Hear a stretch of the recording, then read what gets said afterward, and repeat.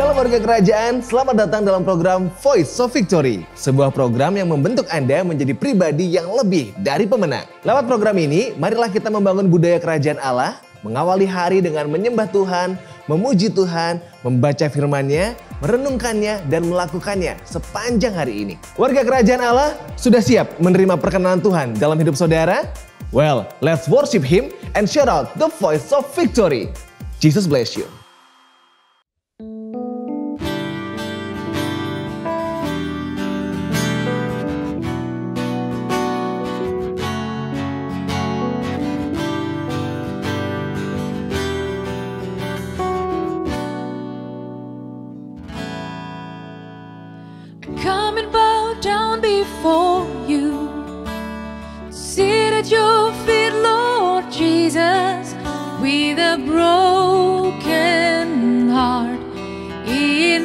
breath.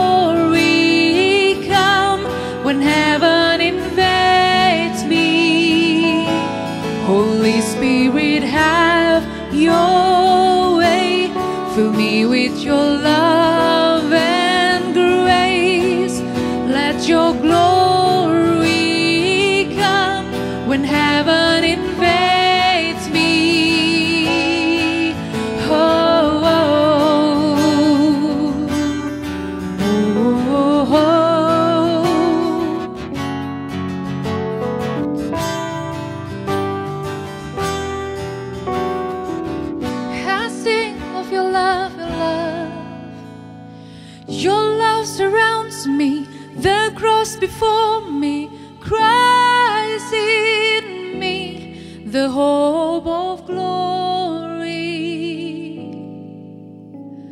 Your love surrounds me, the cross before me, Christ in me, the hope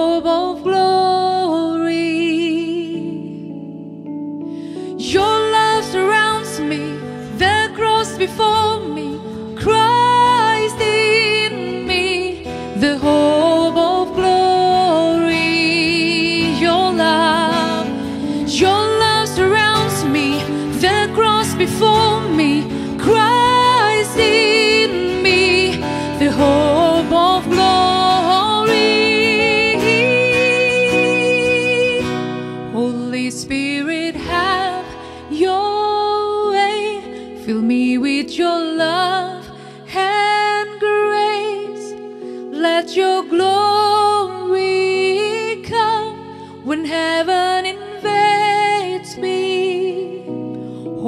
Spirit.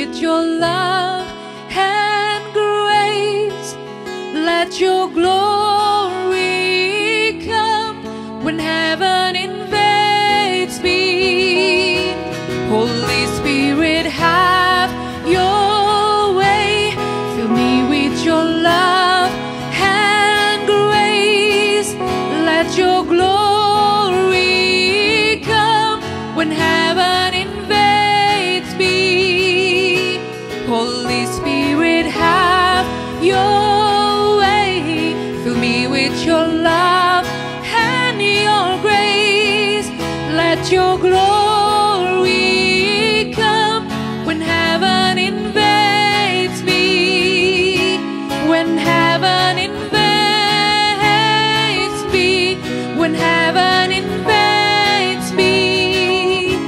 When heaven invades me.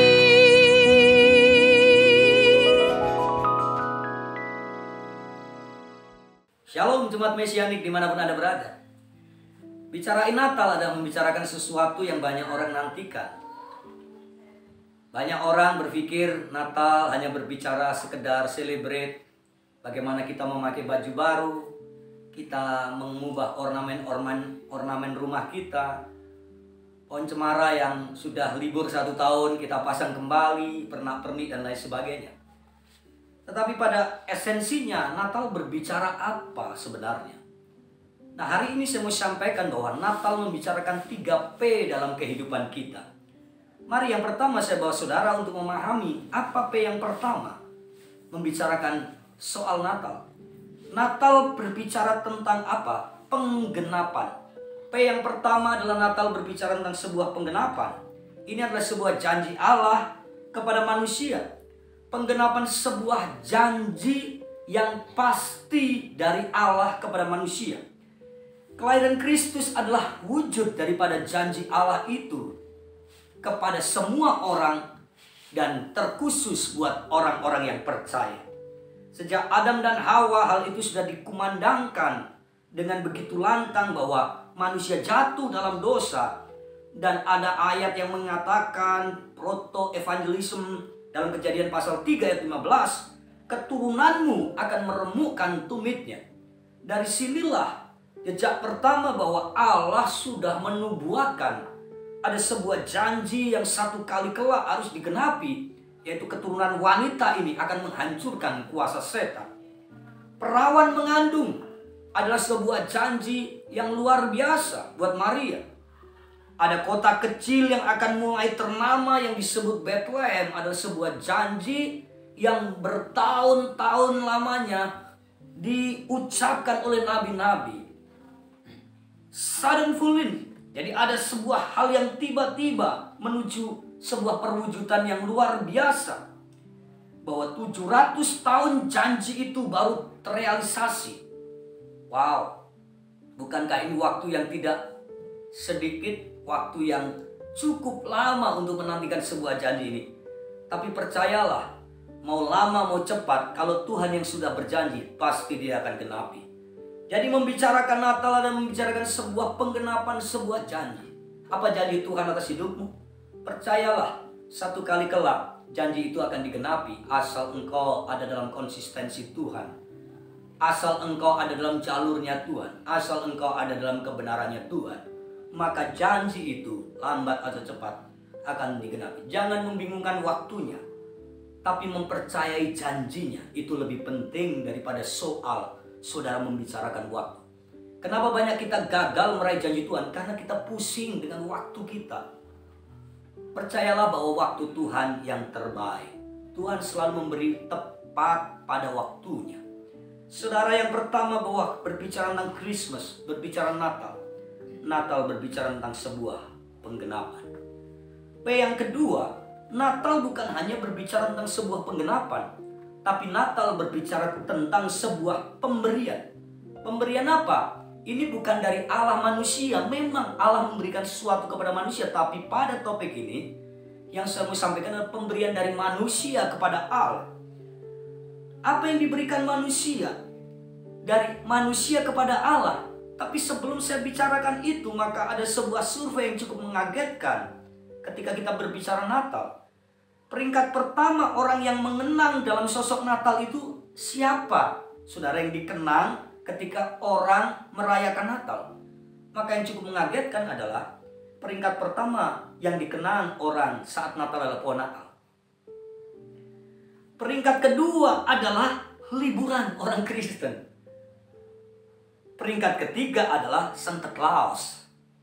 Tidak ada yang terlalu signifikan dan istimewa dalam survei ini dan Yesus tidak dilibatkan.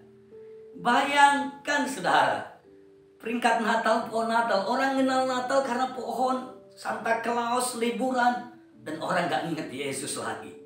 Tapi hari ini kita belajar bahwa Natal itu bicara pemberian. Kalau Allah sudah memberi yang terbaik buat manusia, seharusnya manusia belajar memberi yang terbaik buat Allah. Maria menjadi bukti bahwa dia memberikan sesuatu yang paling berharga dalam dirinya untuk Tuhan. Injil Lukas pasal 1 ayat 38 dia berkata apa? Injil Lukas pasal 1 ayat 38 Alkitab mencatat sesuatu yang luar biasa dikatakan begini. Sesungguhnya aku ini adalah hamba Tuhan. Jadilah padaku menurut perkataanmu itu. Lalu malaikat itu meninggalkan dia. Maria memberikan hidupnya kepada Tuhan. Jadi hidupmu bukan kamu lagi, tapi Kristus yang hidup di dalam kamu. Kata Rasul Paulus. Jadi waktu Maria memutuskan diri, ini sebuah resiko yang harus ditanggung oleh Maria. Resiko apa? Resiko sosial tentunya. Dia akan dibenci orang-orang di sekitarnya karena ada perawan yang mengandung.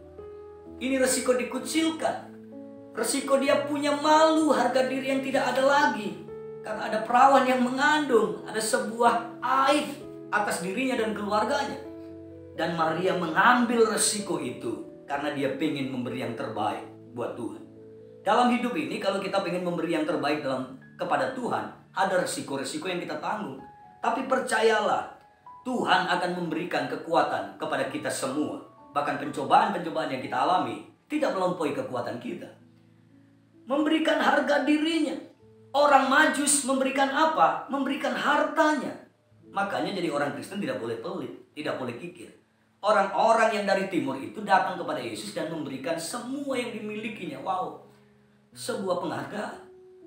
Bahwa ikut Tuhan itu buka hati dan buka dompet. Amin. Ikut Tuhan itu bukan hanya buka hati, buka dompet, buka pintu kulkas, buka pintu rumah. Ayo kita belajar menabur yang terbaik. Gembala-gembala memberikan penghormatan. Kitab Lukas pasal 2 ayat 20. Jadi dari sini kita melihat bahwa Alkitab memberi catatan bahwa Natal adalah sebuah pemberian dari manusia kepada Tuhan yang disembah. Ayo kita beri yang terbaik. Beri hidupmu. Beri apa yang kau miliki beri penyembahan yang terbaik. Niscaya engkau akan menjadi orang-orang Kristen yang luar biasa. Yang pertama Natal berbicara penggenapan, yang kedua Natal berbicara tentang pemberian. Yang ketiga, Natal berbicara tentang sebuah yang namanya perubahan, Saudara. Jadi waktu ada perayaan Natal harusnya bukan ornamen kita yang berubah. Banyak orang di Natal yang berubah, apa make upnya berubah, bajunya berubah. Tapi pertanyaannya, hati kita berubah atau tidak? Di Natal rumah kita dicat baru, pohon cemara dihias begitu hebat, lampu-lampu pernah pernik dikeluarkan semua dan menjadi menarik. Tapi yang menarik hati Tuhan bukan itu. Yang menarik hati Tuhan, sudahkah hidup kita semakin berubah serupa dengan Kristus? Pada tahun 1914 terjadi perang yang begitu hebat dan tang tepat pada tanggal 24 Desember mereka memutuskan untuk berdamai karena itu malam Natal. Jerman dan Perancis mereka digorong-gorong membuat sebuah pohon Natal yang menarik. Mereka keluar dan mengucapkan selamat Natal berpelukan satu sama lain dan mereka mengizinkan tidak adanya perang. Mereka pulang ke keluarga masing-masing dan merayakan Natal. Merubah kebencian menjadi sebuah cinta kasih dan damai. Itu yang mereka kehendaki. Dan terjadi perdamaian. Itu sebuah fakta sejarah yang tidak bisa kita ganggu gugat. Bahwa tahun 1914 terjadi perang dan berhenti hanya karena mereka menyanyikan lagu-lagu Natal dan mereka saling berpelukan, ada damai di antara mereka. Ini yang saya sebut bahwa Natal harusnya membawa perubahan. Perubahan sikap, perubahan tingkah laku, perubahan kehidupan, perubahan terhadap orang lain. Dan saya percaya perubahan dimulai dari dirimu sendiri. Perubahan dimulai dari di antara kita, dari keluarga Anda. Dan 3P dalam Natal ini yang pertama, yuk ada penggenapan janji yang Tuhan sudah lakukan. Yesus lahir untuk kita. Yuk kita belajar memberi. Ada pemberian yang the best, yang excellent, yang terbaik buat Tuhan dari hidup kita semua. Dan persembahan yang terbaik adalah hidupmu. Yang ketiga, ayo kita harus berubah. Karena perubahan itu dibutuhkan oleh banyak orang. Orang Kristen harus hidup di tengah-tengah dunia dan membawa perubahan. Bukan kita diubah. Jadilah garam yang menggarami, jadilah terang yang menerangi. Nah, saya percaya ketika itu ada, ketika kita melakukan itu, perubahan menjadi nyata, kita jadi berkat, Tuhan dipermuliakan. Tuhan Yesus memberkati dan selamat Natal buat kita semua. Mari kita berdoa. Tuhan terima kasih, kami bersyukur Engkau hadir di perayaan Natal kami ini. Dan kami percaya akan membawa perubahan yang besar dalam hidup kami. Kami tahu bahwa Engkau menggenapi janjimu dan kami akan memberi yang terbaik dalam hidup kami.